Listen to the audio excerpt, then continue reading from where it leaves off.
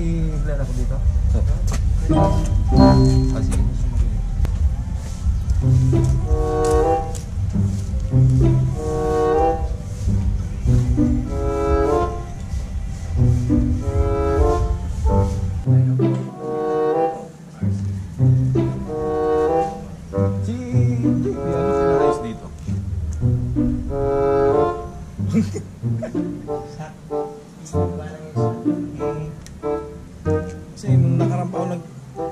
pa 3 days yun ang absent kakahanap ng stator eh.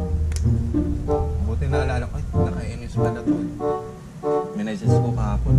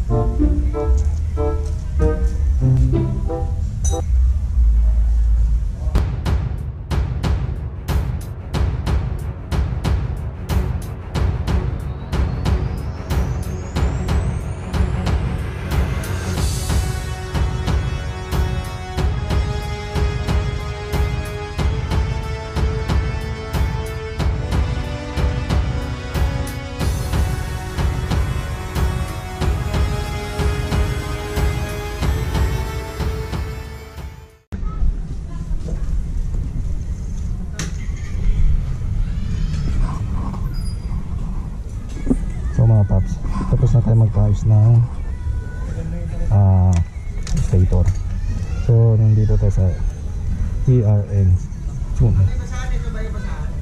So sulit ang gawa. Solve ang kaso. So marami pa tayong natutunan. So shoutout kay JP Raptor na nag-recommend sa atin. Solid TRN. Pitch bike. So dito na ako magpapa PMS sa susunod. Pupuriin ko yung clutch lining.